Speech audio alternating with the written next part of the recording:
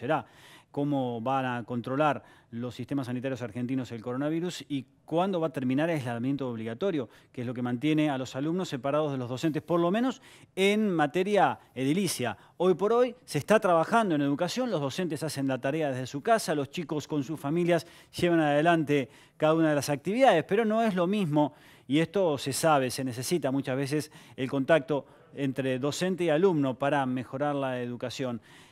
El ministro Trota habló con respecto a este panorama. Dijo que las decisiones se van a tomar en base a la seguridad de docentes y alumnos y que se va a priorizar siempre la salud. Y además se refirió, por ejemplo, a la cuestión de las vacaciones de invierno. Dijo el ministro, no vamos a suspender las vacaciones de invierno. Sería contraproducente o sería incoherente con el mensaje que estamos dando. Si los docentes están trabajando, los alumnos están trabajando en su casa, merecen vacaciones, como lo tenían estipulado. Por eso, en principio, no se evalúa suspender las vacaciones de invierno. ¿Cómo recuperar el tiempo perdido? En realidad, es mucho el trabajo que hay que hacer. Eso lo saben las autoridades y lo saben los docentes. ¿Qué decía el ministro con respecto a esta situación? ¿Qué va a pasar con las escuelas? Lo escuchamos que vamos a volver cuando la salud lo permita. No, es una decisión educativa, como decimos siempre, sino es una decisión epidemiológica del comité de expertos. Vamos a empezar a tener que buscar alternativas según la propia evolución de la pandemia. Cuando hoy me preguntaban por el recreo, digo, toda medida que tomemos se va a vincular a priorizar la salud, sabiendo que vamos a tener que modificar conductas hasta, como dicen los especialistas, haya una vacuna para esta pandemia.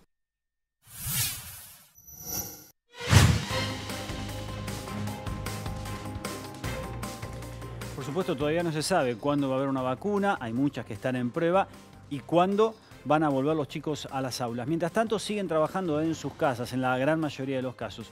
Pero decíamos, no es lo mismo. Evidentemente, hay todavía muchas limitaciones. Algunas tienen que ver con cuestiones sociales y otras tienen que ver con la cuestión pedagógica, cómo se enseña, cómo los chicos están preparados y cómo ni en las escuelas ni en las casas las condiciones son las mismas y por eso no es lo mismo educar en una casa que en una escuela. Y esto es lo que reflejan los dirigentes gremiales. Aseguran que se está trabajando, pero que todavía se extraña la escuela.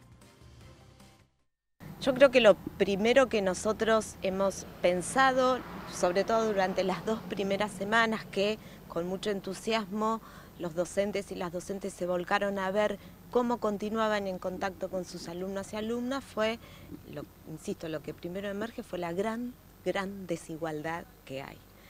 Eh, desigualdad que se expresa tanto en las casas eh, de los docentes y las docentes como en las casas de las familias.